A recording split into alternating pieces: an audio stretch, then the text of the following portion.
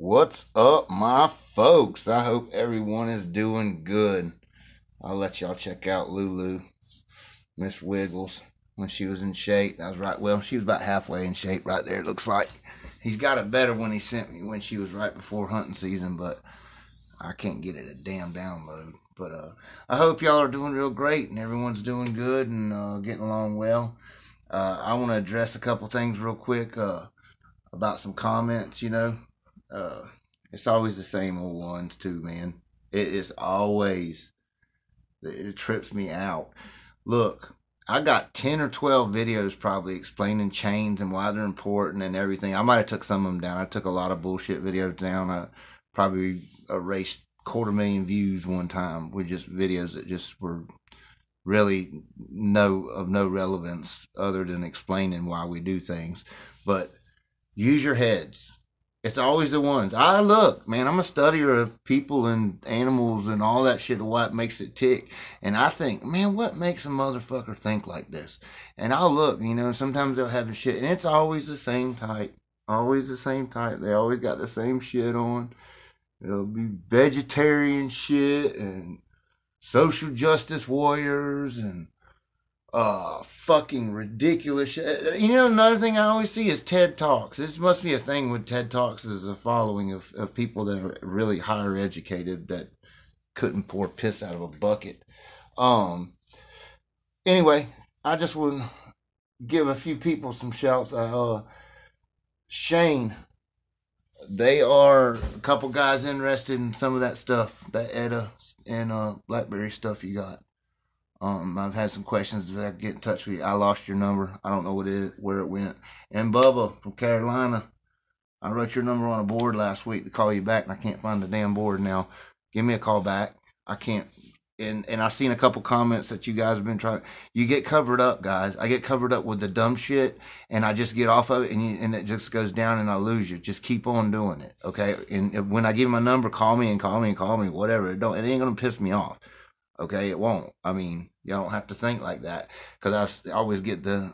I don't mean to bother you, but you ain't bothering me. If I don't see your call and it just ain't bothering me. I'll call you back when I can. Don't worry about it. Don't bother me. I don't care. Um. Anyway, let's talk a little bit about gameness. Okay. I've had a lot of questions about this and uh, from all different angles, and I've had some questions about the breeding charts and all that. The co, you know breeding coefficients and all that shit or whatever. Look, first of all, those charts are something fun to look at and say, ooh, look at this or look at this or how many times this is and shit. But in the real world, guys, I'm telling you, this whole game is is a game of to separate a fool from his money. Okay, you can buy that stuff if you want to and put these fancy things and you can do that. But if you don't start out with good shit, you ain't gonna have good shit. I don't care what that chart says. That chart's irrelevant. Okay, in the real world, I'm not talking about cyber world. A lot of people are living in that right now. I'm trying to explain to y'all these dogs are real flesh and bone animals. Okay, they're animals. They raise up from a little baby to a mature animal, and there's a lot that goes on in between them. And you can take two brothers two litter mate brothers that will have the same chart as one will have as the other unless they literally DNA them motherfuckers. And then still, I'm not sure. There's a lot of different variables, but as far as them charts go, two brothers. One brother might be a producer and a good dog himself. One might be shit all the way around as a producer and a dog. But them charts are going to be the same. Now, who do you think is going to have better dogs? The guy that bred the good shit off of it or the guy that bred the garbage off of it? That's what I'm saying. The only way to get good dogs is to breed good your your good dogs and your dogs that are producing what you want and, or, and have the traits as what you want to produce. Okay? That's the only way to do it. There ain't no if it was easy as fucking typing in a program, it would have been done. Just like all the people ask us about the chain outside. You, why you got to put the poor doggy on the chain? If it was as easy as letting them just run around the fucking yard, we would do that. Okay, there's a reason why every, it's a long drawn out process. It literally is a science to it, but it's a science of instinct, of gut feeling, of being there, of experience. You know what I'm saying? Of knowing, just knowing that that's going to work. And then sometimes, even what you know, you find out you don't know shit. Okay, I'm just being honest with you guys. Um, if you start out with garbage, I don't care what the damn chart or paper say. If it's garbage dog and he's producing garbage, a lot of these higher lines, they produce themselves a lot. Like what that's what I'm saying. If the dog is a cur out of it, he's probably gonna produce a lot of curs. You know what I mean? It's just the truth. That's why these the traits that you're after, you hold on to those traits and breed breed the offspring that have those traits, the offspring that have the other. You know what I'm saying? It's a, that's how you do it.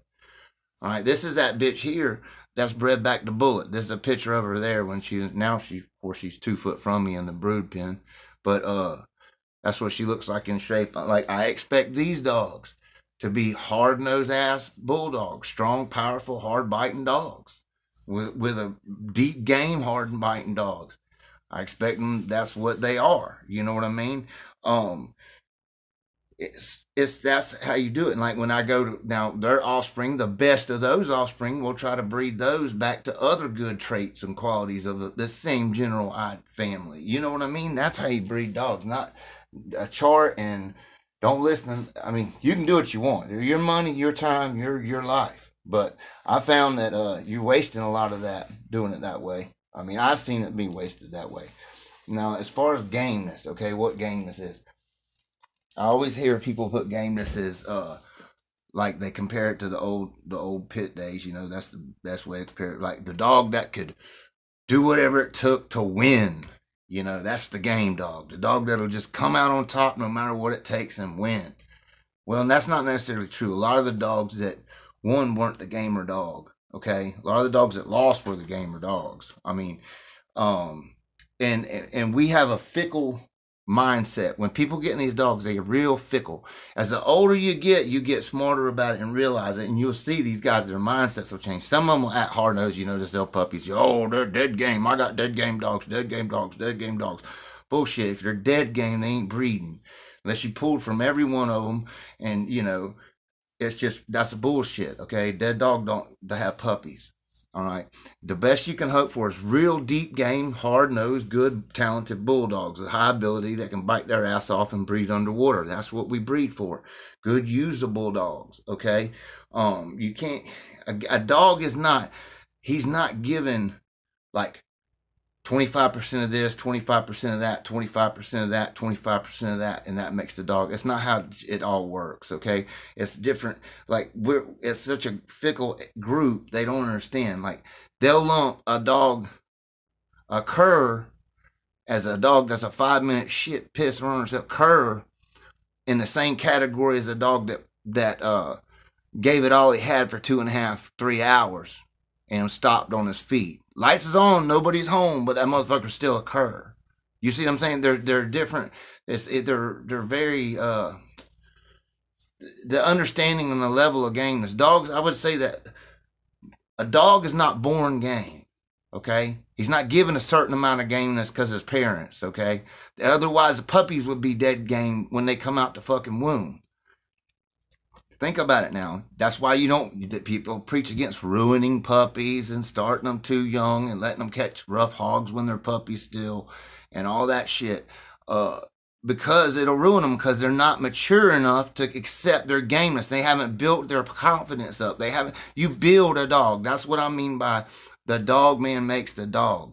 You can take two brothers and give them one to a good dog man that does right by a dog and he'll have a good dog. You can give one to a dipshit that puts him in a box and doesn't give him no attention. He'll take him out and think he's got a bulldog because of his papers and he's got a piece of shit. You see what I'm saying? And the other end of that coin is you can take a good dog that's already a good dog and give him to a piece of shit and he can ruin him in about eight and a half weeks. I've seen it done many times, you know. So just think about all these things before when you're when you're looking at these dogs. It really is a a, a far away chess match. You know, you you that you can't see all the moves to. That's what this is. And you got to be able to read them dogs. You know, you can't. I'm, I'm not the one that's going to put the dog that went three hours in the same category as a dog that went three minutes and quit. You see what I'm saying? I just never, I couldn't ever do that because honestly, it's not in the same category. Think about it, guys. Now, a lot of dogs that aren't game, like I had a strain of, I had several strain of dogs before that I didn't think were game. This is the first time in my life that I think my dogs are pretty deep game. All of my dogs that I got, I'm pretty sure they're pretty deep game. They should throw deep game dogs if we if we keep them in a good circle that they're able to catch hogs and we can see what their abilities and their talents are and all. And the heat, the heat, I'm a firm believer that the heat will make a dog quit more so than anything else. You know what I mean?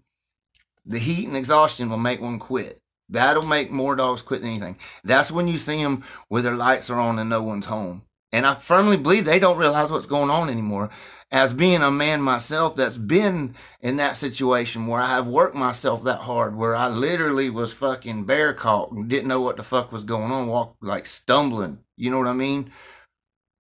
I know what that's like, and that's what you see when them dogs do that. It's not necessarily a cur in them, it's they're just fucking out of it, man. You know what I'm saying?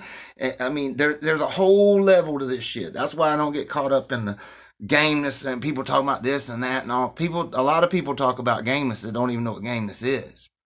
You know, it's not necessarily the one that can win every time or won every time. That was a whole good team behind that son of a bitch. I assure you of it. It, it's a different, it's a different thing than that. You almost got to be a game individual to understand what gameness is. You know, I know many men that are game to the bone. I've seen them game to the bone. They'll give it all. They ain't scared of nothing, fearless. You know what I'm saying? But on the other ends of their spectrum, they're fucking, you know, you see him, like, you ever go to jail with that guy? That's a bad son of a bitch. You get in jail two or three days later, that a bitch is crying, with, about to be a bedwetter. You know what I'm saying? Curring up on you. You know, that's the, what I'm saying. Certain people are different. It's the same with these dogs. You can take a dog.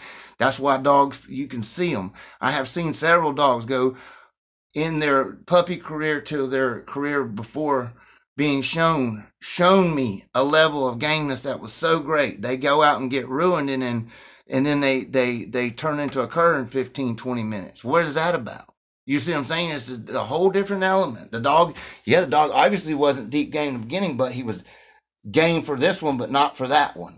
You see what I mean? There's, there's, it's a different thing in these dogs. You got to understand them to be a good breeder. You got to understand. Them. And in certain families, though, are just predominantly, and you, the predominantly got a harder drive. That's why I like to breed hard driving, hard nosed bulldogs like these. These, I, that's why I love doing the old school shit back into the new school stuff because you're putting a lot of your old school dogs are that's what they are. They're just hard giddy up dogs. You know what I mean? They're giddy giddy up. They don't have a lot of fancy moves. you know what I'm saying? But and, and that's why I do that to cross them them two styles up. You know, because a lot of the newer stuff, especially you know some of these other four way crosses that are coming out, they're very talented, beautiful looking ballerina some bitches. I just like to put some of that bowling ball in that ballerina once in a while, you know, and that's why I do that. But as far as being able to say you're breeding dead game dogs or you know all you can hope for is that you're breeding good quality deep game usable dogs that go into the right hands that have got a good concept of the dogs and know how to take care of them that's another thing. If you take a good dog how many times you seen the guys that'll take a dog and you'll see somebody will buy a young prospect and that prospect will go out the first time he's out with the new people and that motherfucker will do great. He'll do great. He'll catch a fucking hog and slam that bitch for a loop, you know. And but he might get hurt. You know what I'm saying? If he gets hurt and he's not healed up properly, the next time he goes out, he don't do so great. He looks bad. He might even quit.